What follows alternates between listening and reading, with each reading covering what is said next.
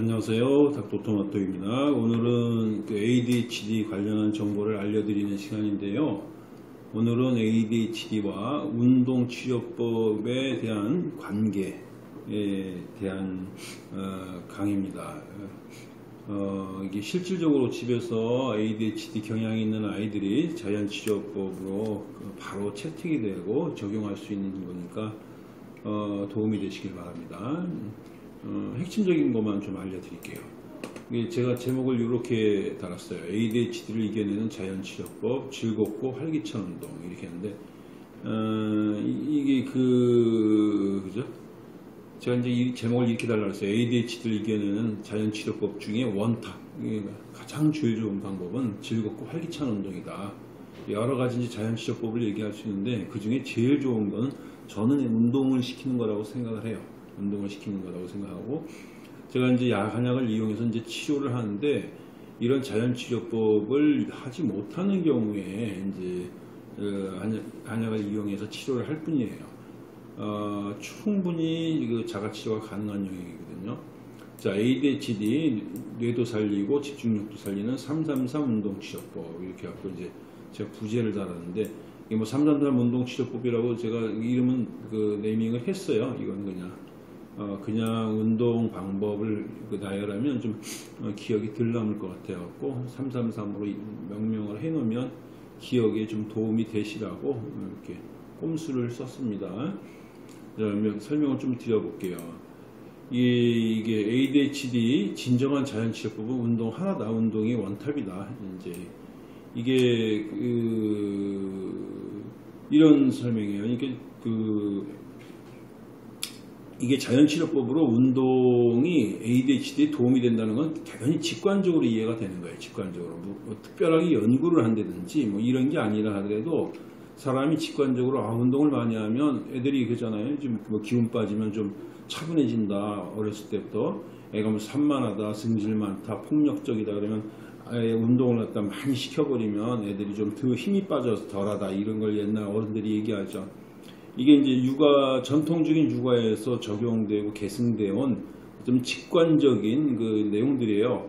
그런데 이 의학적으로 이 부분을 명쾌하게 밝혀내는 연구는 굉장히 부족한데 이유는 이게 저는 이거 하나라고 생각해요. 스폰서 부족. 이게 연구를 진행하려면 상당한 비용들이 들거든요. 그런데 이게 이 연구가 선- 성공해서 데이터가 나온다 하여 이익을 볼 수 있는 뭐 제약회사가 따로 있는 것도 아니고 이익을 볼 수 있는 또 단체가 따로 있는 것도 아니지 않습니까? 이게 이게 이 연구는 그냥 소모용 연구이기 때문에 스폰서를 구할 수가 없어요. 그래서 규모 있게 지속적으로 연구를 갖다 하는 게 어렵기 때문에 이 실질적 연구가 굉장히 부족한 거죠. 직관적으로는 너무 타당한데 실질적 연구는 부족하기 때문에 여러분들한테 덜 알려져 있는 거지 이 타당성이 부족하다고 생각되지 않아요. 자, 그래서 제가 이걸 알려드리기 위해서 한번 논문들을 한번 훑어보니까 어, 이게도 상당히 논문들이 나와 있더라고요. 제일 재미난 게 어, 의대에서 그 논문이 나와 있는 게 있어요. 제목은 이런 건데 국내 의대에서 중앙대 의대 정신과에서 만, 낸 논문이에요. 최근 2000년대 나온 논문인데 ADHD 아동의 운동 효과에 대한 메타 분석. 그러니까 ADHD 아동한테 운동을 했을 때 어느 정도 효과가 나는지 그동안에 나온 논문들을 갖다 종합해서 만- 그 분석한 논문을 이제 중앙대 의대 정- 어, 정신과에서 만들었는데요. 이 논문이 이제 시작을 이렇게 합니다. 제가 이 내용을 미리 준비했는데 어, 서두에 이렇게 써져 있어요. 현재 ADHD 아동을 위한 치료는 약물요법이 주를 이루고 있다. 어, 지금 이제 정신과에서 주는 그 ADHD 약이죠. 약물요법, 메칠페니데이트 계통의 약이라는 거죠. 그러나 약물요법은 아동의 증상을 단기간 완화시키는 효과는 있지만 단기간이에요. 단기간. 효과가 초반에만 있지 장기간 가면 그 효과는 또 없어져 버려요. 단기간 완화시키는 효과는 있지만 두통, 현기증, 불면증, 발작, 성장 발달 지연과 같은 부작용 문제를 일으킬 수 있다. 엄청난 부작용들이죠. 이거 제가 한의사에서 얘기하는 게 아니라 이게 지금 그 양방의 소아정신과 선생님들이 써놓은 얘기예요. 이로 인해 최근 국내 다수 연구들이 ADHD 아동의 약물요법을 대체 병행할 수 있는 중재 방안으로 운동 효과에 대한 연구를 진행하였다. 그래서 연구 목적을 얘기한 거죠. 이 약물 자체를 갖다 기피하는 경향이 되게 뚜렷하고 약물 자체가 효과가 매우 단기적이기 때문에 그 그리고 단기간 효과에 비해서도 부작용은 상당하기 때문에 환자들이 약물을 기피하는 경향이 되게 뚜렷한 거죠. 그래서 이 약물 치료, 메칠페니데이트의 효과하고 비슷하지만 부작용을 피할 수 있는 대체요법을 갖다가 찾기 위해서 이제 운동요법을 연구했다 이제 이런 거예요. 그래서 연구를 갖다 쭉 한 결과가 요겁니다. 요야 운동은 뇌의 카테콜라민 시스템의 수용성을 증진시키고 부주의력, 기억력 충동, 과잉행동 같은 ADHD 핵심 증세를 치료할 수 있는 방법 중 하나이다. ADHD의 핵심 증세를 갖다 치료할 수 있는 여러 가지 방법이 있는데 운동은 이 뇌의 카테콜라민 이게 도파민 같은 거예요. 집중력을 갖다 개선시켜내는 신경 전달 물질을 갖다가 늘려낸다는 거예요. 늘려내서 어, 집중력과 과잉 개선시키고 과잉 행동을 개선시켜낼 수 있는 것이 이제 입증된 영역이다라는 거죠. 그래서 비교를 해보니까 이 논문에서 얘기하는 게 대조 집단 비교 시 32%의 효과가 증대되어 있다. 상당한 효과죠. 예. 이걸 지금 운동을 한 집단하고 하지 않은 집단하고 주의 집중력 정도하고 충동성 조절 이런 걸 평가해 보니까 대략 30%를 상회하는 증대가 이루어졌다는 거예요. 인지기능에서는 이 논문에서 인지기능 비축가설을 얘기하는데 이게 되게 재미있어요. 어, 인지기능이 떨어지는 아이일수록 효과가 강하게 나타난다. 이게 이제 운동이 그 주의 집중력이나 충동성은 머리가 좋은 아이든 머리가 나쁜 아이든 뭐 다 동일하게 효과를 낸다는데 어, 인지력은 인지 인지력은 그 지능적인 영역이죠. 인지력은 그 지능이 떨어지는 아이들한테는 반응이 굉장히 효과적인데 지능이 높은 애들은 이미 좋아서인지 별 반응이 없더라 이런 거예요. 그러니까 이 내용을 종합을 해보면 ADHD 경향이 있는 아이들한테 무조건 의미가 있습니다. 그 다음에 지능이 떨어지는 아이들이 학습 효과를 올릴 때도 운동은 대단히 효과가 있습니다. 이 얘기를 갖다 이 논문에서 알 수가 있는 거예요. 어? 그러니까 어떤 면에서 아이가 어, 학업 능력도 떨어지면서 그 집중력도 떨어지고 산만하다. 이걸 뭘 해야 되나? 막 애를 공부시키고 뭐 이 학원 저 학원으로 돌리고 상담 치료 받으러 다니고 이 여러 가지를 갖다 하고 있는데 가장 먼저 해봐야 될 거는 운동 치료인 거예요. 운동, 운동, 운동. 이게 이제 국내 논문이 여기 그 접근을 이용해서 제가 요약을 해봤고요. 구글 학술 사이트에서 쭉 검색해 보면 운동 치료 효과와 관계된 논문들이 또 상당히 나와요. 물론 개수나 여기 양은 좀 적지만은 그래도 2000년대 10년 전후로 해서 어, 상당히 나와 있더라고요. 제가 하나만 써놨어요. 이게 뭐냐면 ADHD 아동에게 있어서 그 운동 어? 운동이 갖고 있는 효과하고 메칠페니데이트 효과하고 그러니까 그 ADHD 약, 약을 썼을 때하고 운동을 했을 때하고 효과를 비교해보는 이런 논문이 2010년대 해외 논문이 있더라고요. 이게 메칠페니데이트 사용 그룹에 비해서 작업 속도에서 아주 유의미한 결과를 유지했다. 즉 운동을 하는 아이들이 ADHD 약을 먹은 아이들하고 운동을 한 직후에는 거의 비슷한 효과를 내더라요. 비슷한 이게 논문이. 음. 근데 여기서 좀 함정이 있습니다. 왜냐면 어, 운동이 내는 효과가 지속성이 떨어져요. 예? 하고 나서 직후에 상당한 높은 인지력이나 충동성 저- 어? 장, 어, 조절 영역 뭐 이런 것들을 유지하다 시간이 가면서 점점 점점 떨어지는 거죠. 예? 이게 이제 한계예요, 한계. 이걸 한계는 이거 극복하는 방법은 되게 간단해요. 뒤에서 이제 얘기할 텐데 운동을 갖다 굉장히 생활화하고 지속적으로 하면 이 문제는 극복이 될 수 있는 거죠.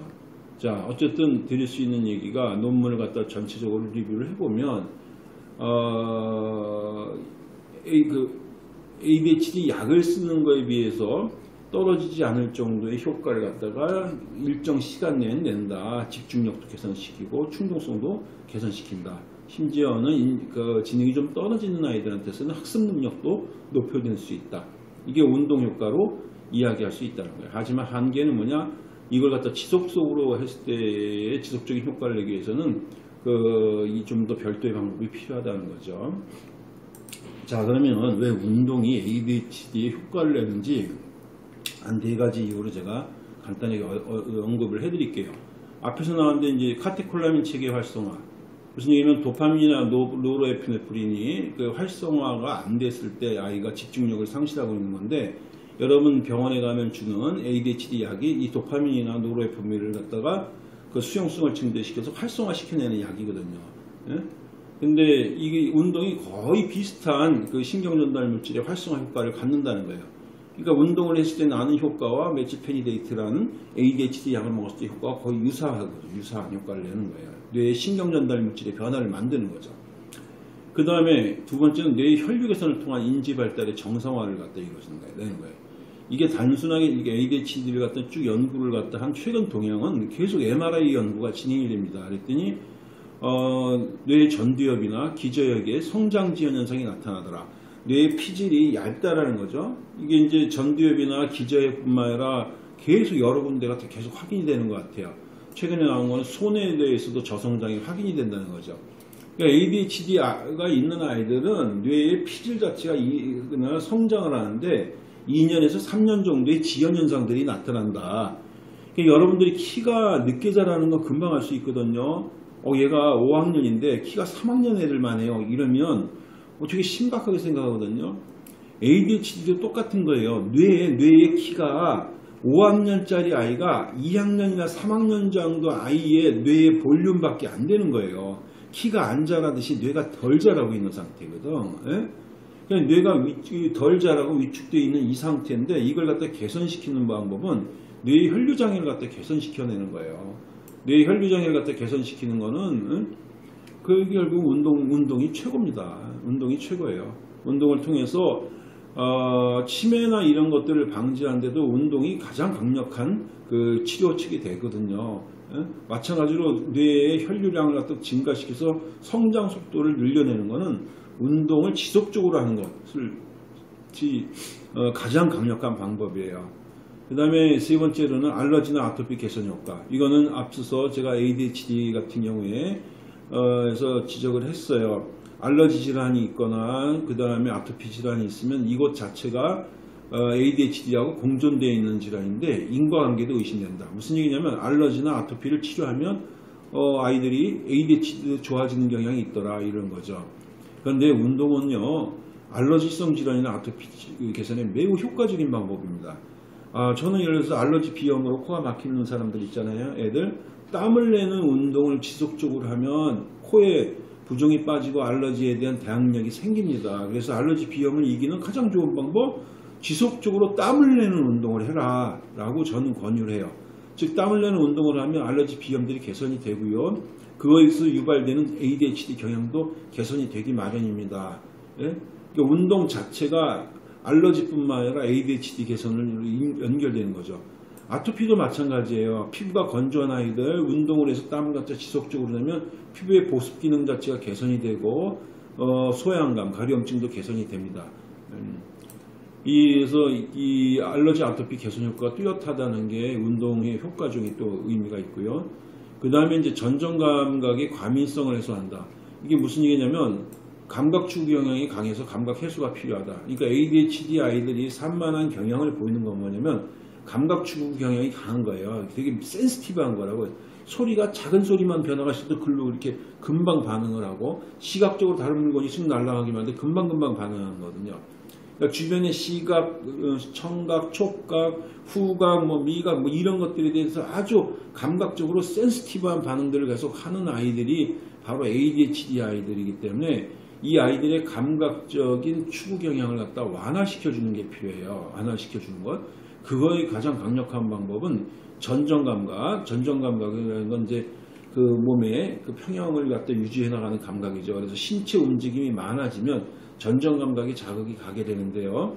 이 전정 감각을 해소시켜 주는 게 전정 감각이 다른 감각이 센스티브한 것들을 갖다 조절하고 연결하는 어떤 기준 감각이라고 생각하시면 돼요. 그래서 전정 감각의 해소가 되게 기본이 됩니다. 무슨 얘기냐면 아이를 갖다 막 벙벙벙벙 뛰게 운동을 하게 하고 막 이렇게 하면 전정 감각이 해소가 되거든요. 그러면 시각적 추구도 줄어요. 촉각적인 추구도 줄고 청각적 추구도 줍니다. 예? 그래서 이 전정 감각의 과민성을 해소시키는 효과를 갖다 운동은 가질 수 있어요. 그러니까 상당히 차분해져 가게 돼 있다고 차분하게.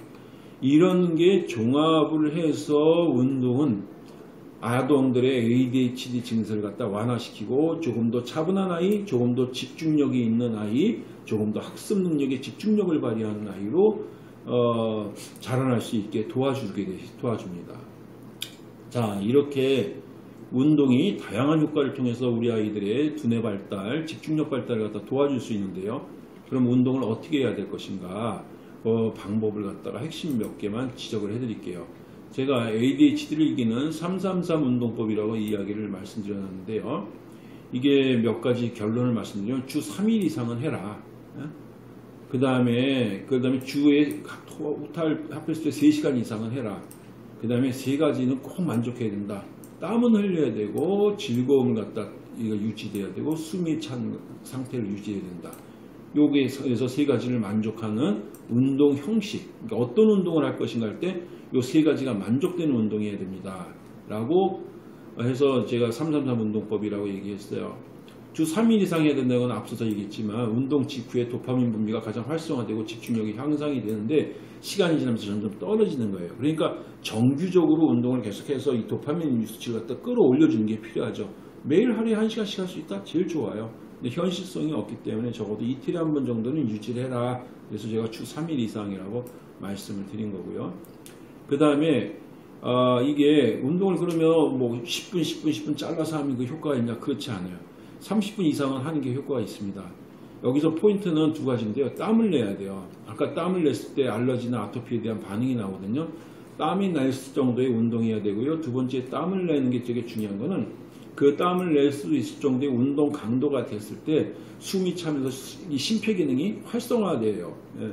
그래서 심폐 기능들이 활성화된 상태가 돼야 운동을 멈추더라도 이후에 지속적인 운동 효과를 갖다 지속력을 유지할 수 있습니다. 그래서 땀을 낼 수 있을 정도의고 심폐 기능이 활성화 정도가 될 수 있으려면 적어도 일정 시간 이상의 운동이 돼야 되는데 하루에 한 번 했을 때 30분 이상은 돼야 된다. 그러므로 이게 어, 주 도, 토탈 했을 때한 3시간 이상은 운동을 해줘야 어, 그래야 이 아이들의 집중력을 유지하는 데 도움이 될 거다. 그 다음에 이제 세 번째는 이게 뭐냐면 집중력이라는 게 하기 싫은 것들 갖다가 그 이 저 운동을 하면 이 감각적 해소가 되지 않아요. 굉장히 즐겁고 자기가 활기차게 운동을 할 수 있을 때 훨씬 더 도움이 됩니다. 그리고 약간 격렬한 운동일수록 효과적이에요. 그러니까 땀이 나야 되고 즐거우면서 숨이 차야 되죠. 예? 앞에 이 세 가지가 다 만족이 돼야 돼요. 예? 설렁설렁 걷는 거 가지고 되지 않아요. 땀 나는 거. 땀은 난다 해도 하기 싫은 운동 막 억지로 하면 이게 이게 즐거움이 없으면 이게 또 그 되게 스트레스로 작용하기 때문에 이 집중력 개선에 효과를 내지 못합니다. 그러니까 아이가 좋아하는 운동을 땀을 내게 하면서 숨이 차도록 하는 것 이거 굉장히 도움이 되는 거예요. 이게 이거 사실 애들은 가만 냅두면 이걸 합니다. 애들은 가만히 냅두면 저 어렸을 때 기억을 하면 점심시간만 되면 애들이 막 밥 잠깐 먹고 뛰어나가서 운동장에서 축구를 갖다가 점심시간 내내 해야 되고 헐떡거리고 들어와서 또 공 수업을 하거든요. 그 이게 아주 어찌 보면 자연스러운 아이들의 어, 이, 그 삶의 과정일 거예요. 현대 사회에 들어서 ADHD가 증가되고 있는 것들은 어찌 보면 어, 여러 가지 경쟁적인 요구 아래서 운동이 제한되면 나타나는 현상일 수도 있습니다. 자, 정리하면서 다시 한번 ADHD 뇌를 생각을 해볼게요. 어, 제가 여러 가지 지금 강의를 갖다 반복하면서 강조하고 있는 것은 여러분들이 생각하듯이 ADHD라고 하면 단순하게 집중력이 부족한 것이 아니라는 겁니다. 우리 아이 집중력이 부족해, 학습 습관이 잘못 들었어, 성격이 너무 활발해, 뭐 이런 거 아니라는 거예요. 아, 아이의 뇌 상태, ADHD 경향이 있는 아이라면 그 아이의 뇌 상태에는 문제가 있다라는 것을 제가 반복적으로 지적을 하고 있는 거예요. 자, 아이의 뇌 상태를 요약해 볼게요. 자, 아이의 뇌 상태는 성장 지연이 있는 겁니다. 예? 뇌 피질 자체가 키가 한 2, 3년 정도의 성장 지연이 있는 거죠. 5학년짜리 아이의 뇌 볼륨이 2, 3학년 정도밖에 안 되는 거예요. 3학년 정도 아니면 1학년이나 유치원생 정도의 뇌 볼륨밖에 안 되는 거죠. 이렇게 성장 지연이 있는데 뇌 성장 지연을 해결하기 위해서 뇌 혈류량의 증가가 절실하다는 거고 그 다음에 아이는 알러지나 아토피 유발 물질에도 약간 중독되어 있을 경향이 있어요. 피부에 나나 코에 안 나타나는데도 뇌에는 그것이 반응을 하고 있을 경우가 많아요. 그래서 배독시키고 땀 배출하는 게 절실하죠. 그 다음에 집중력 형성이나 신경 전달 물질의 분비가 부족하죠. 예? 부족한 상태예요. 그래서 유지를 못하는 거죠. 이게 운동으로 개선이 된다고 했죠. 그 다음에 또 잠을 갖다 수면이 불량한 상태가 지속이 된다는 것도 제가 지적을 했어요. 그래서 아이들이 밤에는 깊은 잠을 못 자고 낮에는 수면에서 각성 상태를 유지 못하는 비몽사몽하는 상태로 집중력 유지가 안 된다. 이게 ADHD 경향이 있는 아이들의 뇌 상태인 거예요. 그래서 아이는 산만한 거고, 그래서 아이는 집중력을 유지 못하는 거고, 그래서 아이는 책을 보고 있지만 진도가 안 나가는 거예요. 자, 양방약 methylphenidate를 갖다 먹는다는 것은 어떤 의미를 갖냐면 3번, 즉 집중력 향상과 심리적 전달 물질을 갖다 분비를 갖다 해주는 도움은 할 수 만들어내요.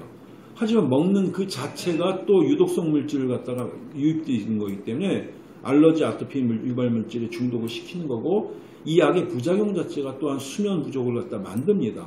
그러니까 2번, 4번 더 악화시키고 있는 거예요. 그러니까 병 주고 약 주고 병 주고 약 주가 같이 이루어지고 있는 게 이게 양방약 매치페니데이트의 문제점이에요. 그래서 해결이 안 되는 거예요. 잠깐만 효과 있고 이후에 효과가 지속적으로 없는 겁니다. 자, 한방치료제도 이게 이 선생님들 같은 경우에는 이걸 진정제로 애들이 방방 뜨고 막 산만하니까 진정제를 주로 쓰는 분들이 있어요. 이런 걸로는 효과를 내기 어렵습니다. 예? 이걸 진정시키는 걸로는 효과를 내는 게 아니에요. 이거는 애들이 배독 수면, 즉 유독성 물질을 빼주고 깊은 잠을 수 있게 하는 거죠. 배독 수면요법을 하면서 하는 뇌 면역 영양요법으로 치료를 해야만 치료가 가능해요. 그래서 산약을 쓰면 이 네 가지가 거의 개선이 됩니다. 개선이 돼요. 네 가지 방면이 모두 효과를 되죠. 그런데 환자분들이 현재 경영은 약을 정말로 싫기 때문에 자연 치료할 수 있다면 자연 치료를 하시는 게 맞아요. 네, 맞아요. 저도 ADHD 경영이 경증인 사람한테 약을 무조건 써야 됩니다. 이렇게 생각하지 않습니다. 아, 운동은 아이의 뇌를 바뀌는 가장 경제적이며 가장 효과적인 치료법이라고 제가 생각을 합니다. 그래서 정말 정말 하다 하다 안 되면 안 되면 어, 한약의 도움을 받도록 하시고요.